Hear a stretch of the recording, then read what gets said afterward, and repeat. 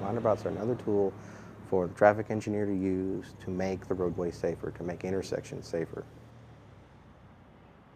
A roundabout is safer than a normal, than say a signalized intersection or even a four-way stop control intersection, mainly because of slower speeds, uh, reduction in fatality crashes, reduced conflict points.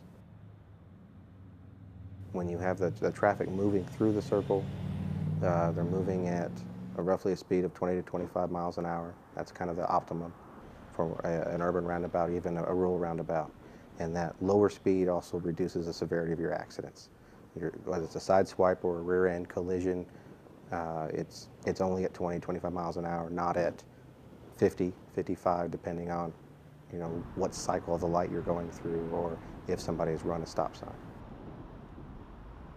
The roundabout would be a good tool to apply uh, in a rural setting or an urban setting when you don't have the high amount of traffic to really justify a signal, but you're having issues with your existing, say, two-way or four-way stop control. You're having some kind, you know, uh, right turn accidents or running the stop sign type accidents, and you need something that fills that void, that gap between full-blown signalized or even in some cases the requirement for putting an overpass in.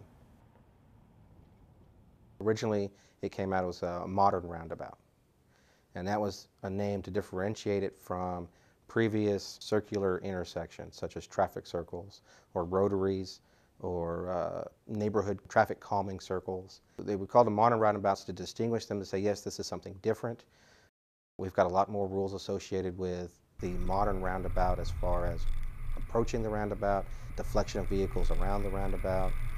The primary mechanism for a modern roundabout is yield on entry. Vehicles approaching the roundabout must yield to vehicles in the roundabout.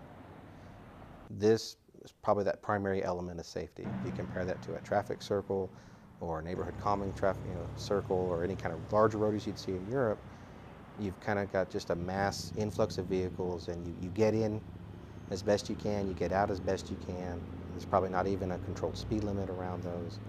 So it is very different if you see it in operation.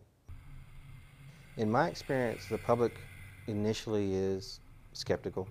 We're probably looking at these intersection changes from the standpoint of there's an issue, there's an accident issue, there was a fatality, there's some reason why we're looking at this. And so you present it from that, say, that, that aspect of this is what we have and this is what's happening. This is our proposal. We're going to change this intersection and we're going to put a roundabout in. Here's how you drive a roundabout. Here are the benefits of a roundabout. And then provide videos and walkthroughs and drive-throughs and, and different things. Once people see them in operation and once they go through them once or twice, it's acceptance. It's it's wow, that's really good. That's really great. I was just I went right through there, especially when it's a low peak period. You're zipping through, you don't have to stop at a light or wait for no traffic to pass kind of situations. We've created a, a good product in the research. We've used the, the most current federal guidelines that are released, and that's NCHRP Report 672, and it, it's freely available that you can take a look at it and read it. It's a lot of great information. We've used that to build our guidelines. The design division is currently using the results from this research to rewrite the roadway design manual and add sections on roundabouts. And so that's forthcoming.